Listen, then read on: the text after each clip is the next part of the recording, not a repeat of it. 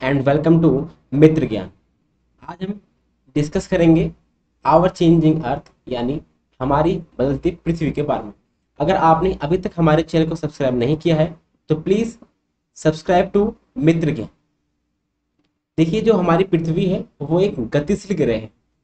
यानी पृथ्वी हमेशा गति करती रहती है, जिसके कारण इसके अंदर बहुत सारे परिवर्तन देखने को मिलते हैं।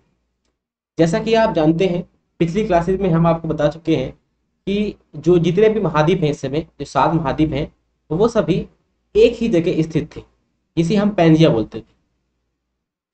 कई सालों बाद इसके टुकड़े होने शुरू हो गए। उसके बाद जो ऊपरी हिस्सा था, उसको हमने लोरेसिया बोला और जो नीचे हिस्सा था, उसको हमने गोंडवाना लैंड बोला। और ऐसे ही इनके और पार्ट होते गए होते गए। उसके बाद आपको जो इस समय एक मैप देखने को मिलता है वो आपको इस आकृति का देखने को मिलता है। तो जो हमारी पृथ्वी है, वो लगातार चेंज होती रहती है। जो हमारी पृथ्वी है, वो स्थिर नहीं है, वो एक गतिमान ग्रह है, जिसके अंदर लावा घूमता रहता है, जिसके कारण आपको बहुत सारे परिवर्तन देखने को मिलते हैं। जैसा कि आप इंडिया देख सकते हैं, ये इंडिया का जो मैप आप देख पा रहे हैं यहाँ पे इंडिया भी जहाँ पर आप इस समय देखते हैं, इंडिया को, वो वहाँ पे नहीं था। वो भी साउथ की तरफ़ था। साउथ से ये नॉर्थ की तरफ़ क्या हुआ? ट्रांसफ़र होता रहा। धीरे धीरे होते होते ये आपको देखने को मिलता है कहाँ पे? नॉर्थ एरिया में। और आपको अभी भी कुछ परिवर्तन देखने को मिलते हैं।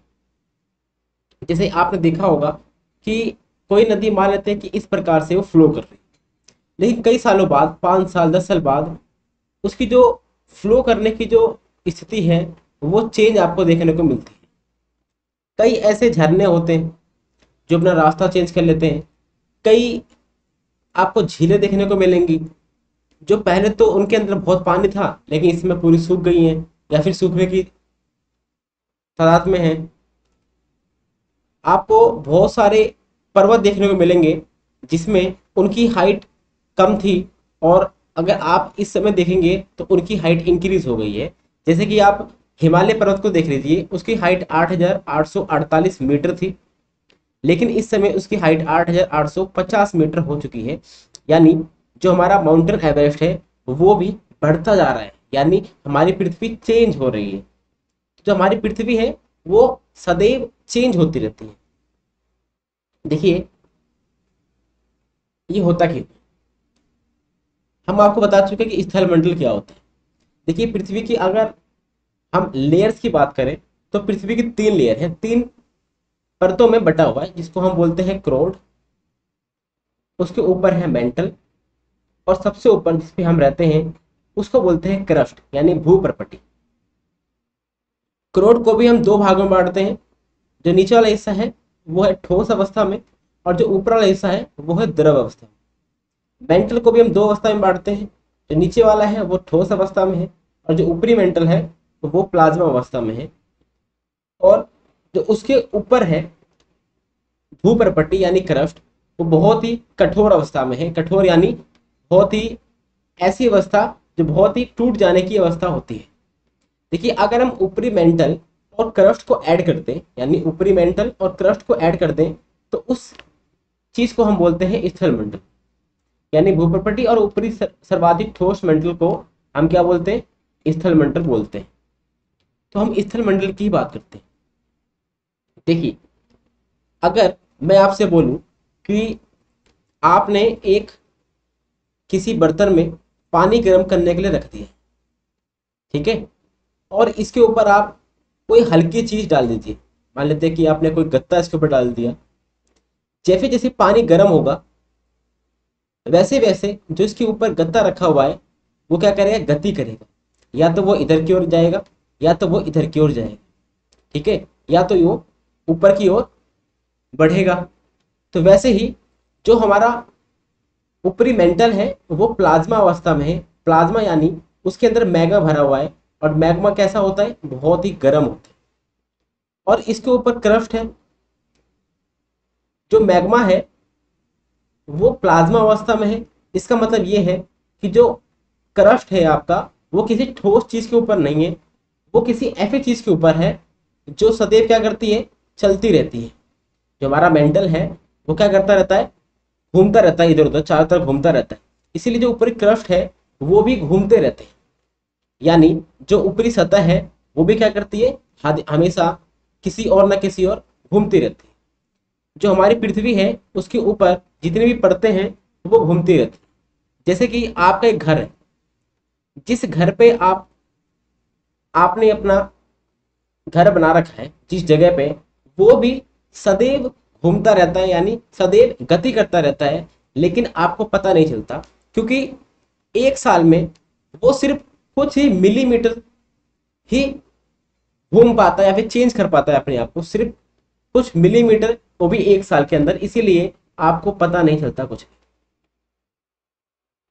देखिए, जो स्थल मंडल था, उसके कई पार्ट हो रखे जिसको हम बोलते हैं स्थल मंडलीय प्लेट। हमने आपको बताया कि जो स्थल मंडल क्या होता है, जो ऊपरी सतह होती है, वो होता है स्थल। जब नीचे से मैग्मा निकलता है, मैग्मा भूपरपट्टी को या फिर स्थल मंडल को गति देता है, उसके कारण जो स्थल है, वो कई भागों में बट गया है, जिसे हम स्थल मंडलीय प्लेट बोलते हैं। जो ये प्लेटें हैं, इसमें सात बड़ी प्लेटें हैं और आपको 200 से ज़्यादा छोटी प्लेटें देखने को मिलेंगी। इसमें सबसे पहले आप देख सकते हैं अंटार्कटिका प्लेट, जो आप यहाँ पे देख सकते हैं, इस एरिया में देखने को मिलती है आपको। उसके बाद है उत्तरी अमेरिका प्लेट, ये प्लेट आपको देखने को मिल रही है ये है उत्तरी अमेरिका प्लेट। उसके बाद है दक्षिणी अमेरिका प्लेट। उसके बाद है अफ, अफ्रीकी प्लेट। ठीक है? देखिए जो प्लेट है, यानी जो स्थल मंडल है, मान लेते स्थल मंडल है तो स्थल मंडल पे ही आपको महाद्वीप देखने को मिलता है और स्थल मंडल पे ही आपको महासागर देखने को मिलता है। तो जो आपको प्लेट देखने को मिल रही है, इसके अंदर आपको महाद्वीप और महासागर दोनों ही देखने को मिलते हैं। उसके बाद हम देख लेते हैं जावा ट्रेंच या फिर Indo Australian plate Indo Australian plate या फिर इंडियन प्लेट भी बोल देते हैं। उसके बाद आप देखिए ये देख सकते हैं, ये है प्रशांत महासागरीय प्लेट क्योंकि प्रशांत महासागर है, इसलिए प्रशांत महासागरीय प्लेट उसके बाद ये है यूरिसाई प्लेट जो आपको यहाँ तक देखने को मिलेगी, इस एरिया तक। फिर आप यहाँ पर एक अरेबियन प्रायद्वीप मिलेगा आपको देखने को, इसलिए यहाँ पर अरेबियन प्लेट है। ठीक है? यहाँ पर कैरेबियाई प्लेट है। यहाँ पर फिलिपिन प्लेट है। तो जैसे जैसे टुकड़े हो रखे हैं स्थल मंडल के, वैसे वैसे हमने इसके नाम रख दिए हैं और वो स्थल मंडलीय प्लेट बन गई। ठीक है?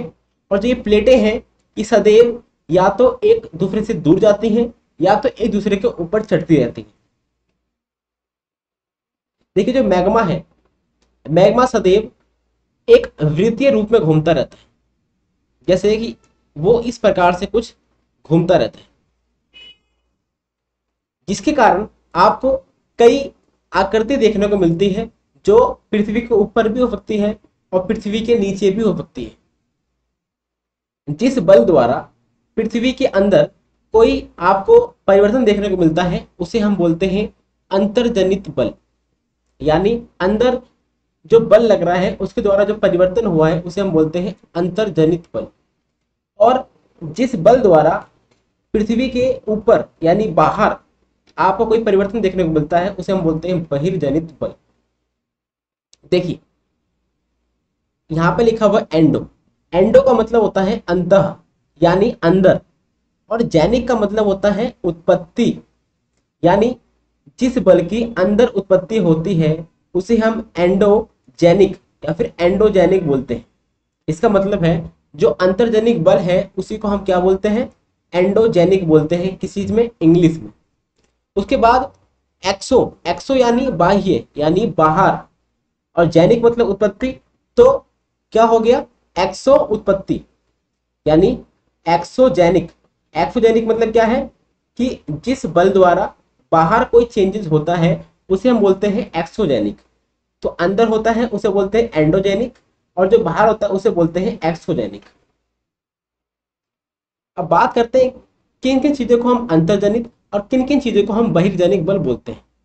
तो जो अंतर्जनिक बल होता है, यानी जो अंदर आप जिस गति से अंदर द्वारा क्या होता है, बदलाव होता है, उसे बोलते हैं अंतर्जनिक बल। इसमें आपका भूकंप आता है, यानी जो आपके अंदर के बल से परिवर्तन आपको देखने को मिलता है। दूसरा है ज्वालामुखी और तीसरा है भूस्खलन। और चौथा बोल सकते हैं पर्वत विमानकारी बल, यानी जिस बल से पर्वतों का निर्माण होता है पृथ्वी की सतह पे। उसके बाद बहिर्जनित बल, यानी बाहर की ऐसी चीज़ें जिससे बाहर आपको चेंजिंग देखने को मिलते हैं। इसमें अपर्दन और निक्षेपण आता है। यह हम आपको बताएँगे कि अपर्दन क्या होता है और निक्षेपण क्या होता है। सबसे पहले नदी द्वारा या बहता जल द्वारा आपको कुछ आकृतियाँ या फिर कुछ परिवर्तन देखने को मिलते हैं। पवन द्वारा आपको कुछ चेंजेस देखने को मिलते हैं। समुद्री तरंग द्वारा भी आपको कुछ आकृतियाँ या फिर कुछ परिवर्तन देखने को मिलते हैं पृथ्वी पर और उसके बाद लास्ट में हिमनत द्वारा भी आपको कुछ परिवर्तन देखने को मिलते हैं चेंजेस देखने को मिलते हैं हमारे अर्थ में। देखिए चेंजेस होते हैं, वो बहुत कम समय में नहीं होते। ये कई सालों में होते हैं। देखिए, ये जो आप भयजनित बल देख रहे हैं, इसके अंदर जो परिवर्तन होता है, वो कम समय में हो जाता है, लेकिन जो अंदर जनित बल होते हैं, यानी जो आपने यहाँ पे देखा एंडोजेनिक बल जो होता है, वो ज़्यादा समय लेता है बनने में। सबसे पहले बात करते हैं ज्वालामुखी की। देखिए, ज्वालामुखी क्या होता है?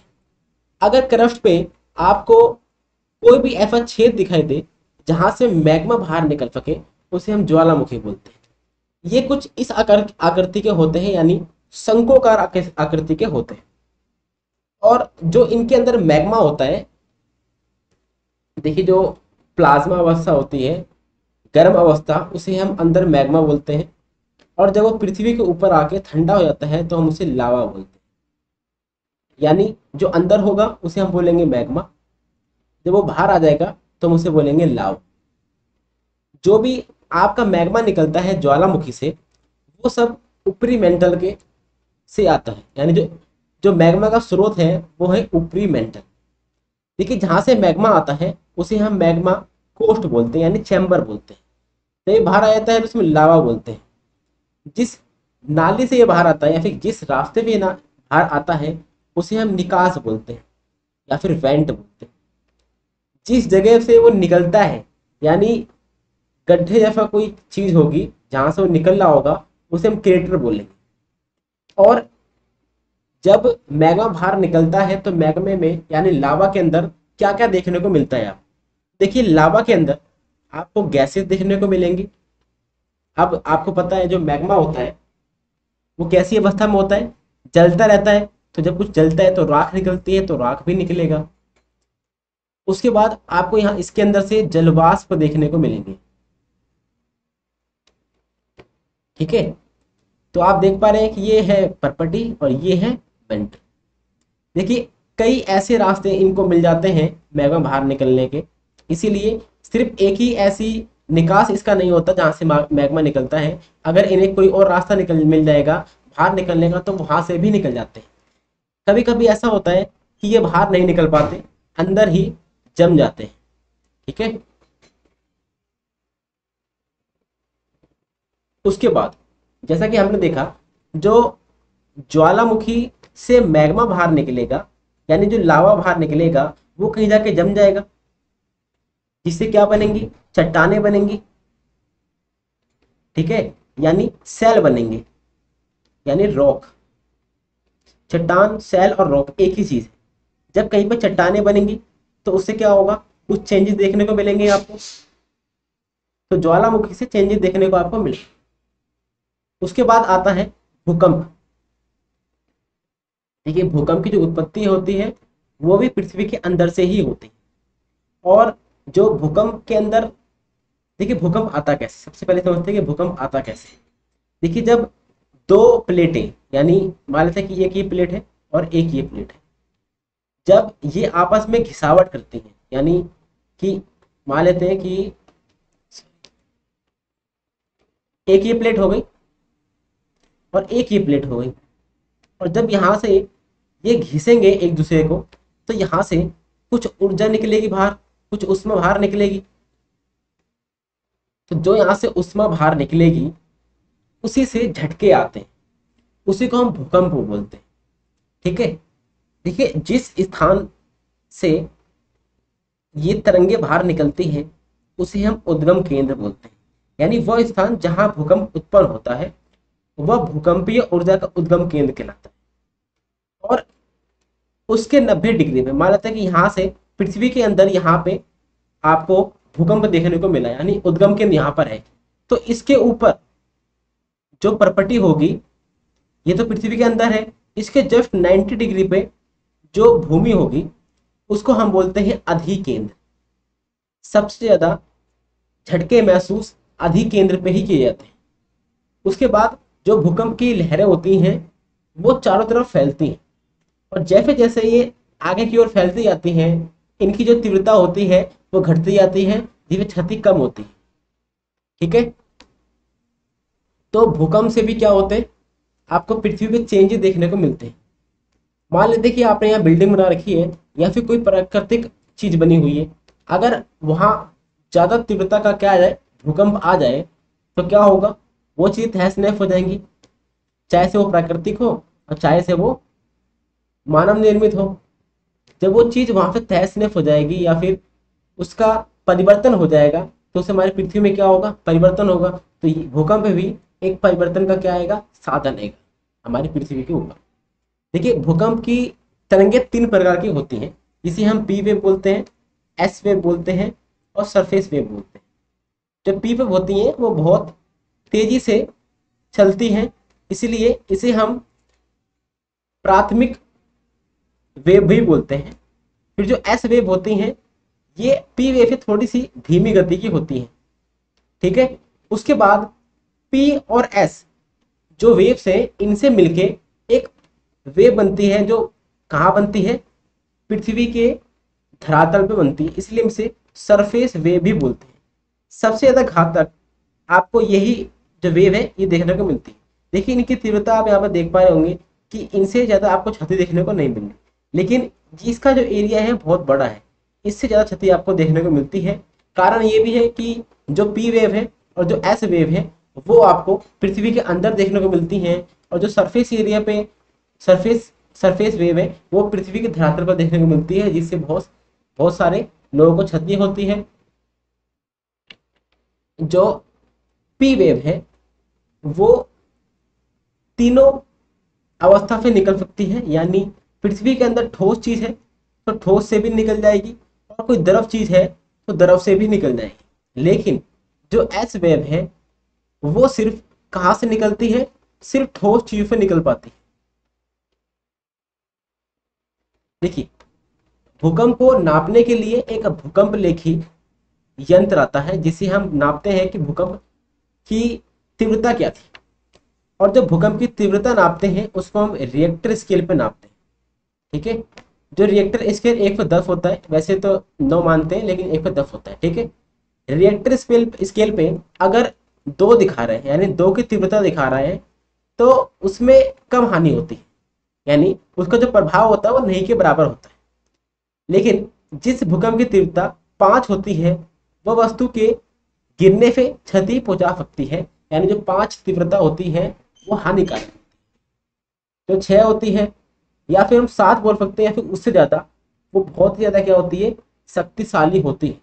देखिए, मान लेते हैं कि कहीं पे भूकंप एक तीव्रता का आया और कहीं पे दो तीव्रता का आया। तो जितनी क्षति यहाँ पे होगी उससे दस गुना ज़्यादा, यानी टेन टाइम्स ज़्यादा क्षति आपको दो में देखने को मिलेगी।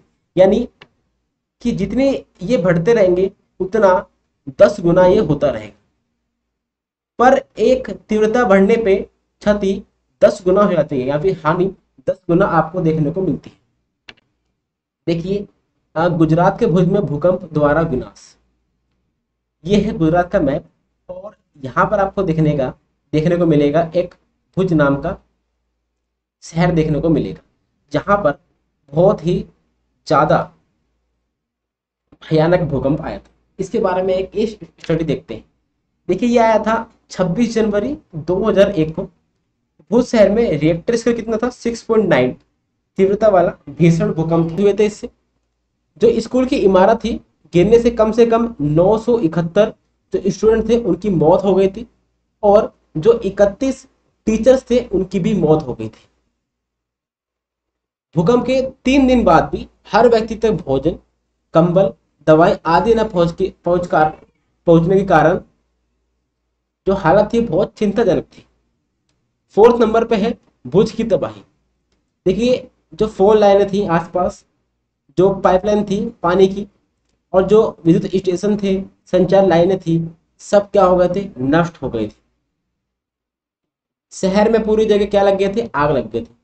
चारकोल और जो अग्निठियों से पलटे के कारण अनेक स्थान पर क्या लग गई? आग लग गई। जो चारकोल वगैरह होते हैं, वो गिर गए होंगे, उससे क्या लग गई? आग लग गई। जो भूकंप प्रभावित क्षेत्र में आपातकाल की घोषणा करनी पड़ी। ठीक है राष्ट्रपति ने आपातकाल की स्थिति की घोषणा की। अब इतना ज़्यादा नुकसान हो जाएगा तो घोषणा तो करनी पड़ेगी आपातकाल की। उसके बाद मुख्यमंत्री की केंद्र से अपील। मुख्यमंत्री जो उस समय वहाँ के थे, उन्होंने केंद्र से अपील करी कि हमें वित्त सहायता दी जाए, जिससे जो भी यहाँ पे हमें नुकसान हुआ है, क्षति पहुँची है, उससे हम निपट सकें। तो ये था गुजरात के भुज का एक केस स्टडी अब हम भूकंप से कैसे बच सकते हैं, इसके बारे में देखते हैं। सबसे पहले लिखा हुआ है यहाँ पे, सुरक्षित स्थान हमें जब भी भूकंप के झटके देखने को मिले तो हमें कोई सुरक्षित स्थान देखना चाहिए।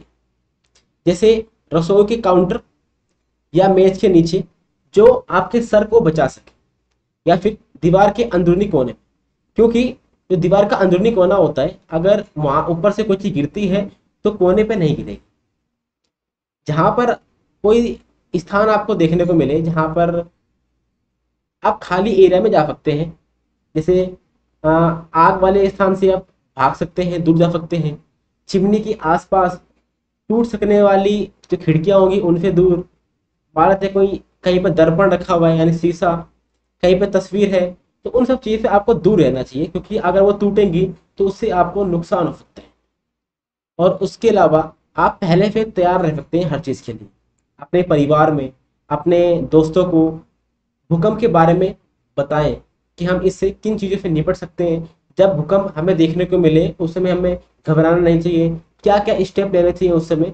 ये सब हमारे भूकंप से बचाने की क्या है? तैयारियाँ हो सकती हैं।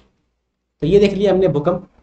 तो हमने प्राकृतिक रूप से जो पृथ्वी पे चेंजेस होते हैं किन किन चीज़ें होते हैं?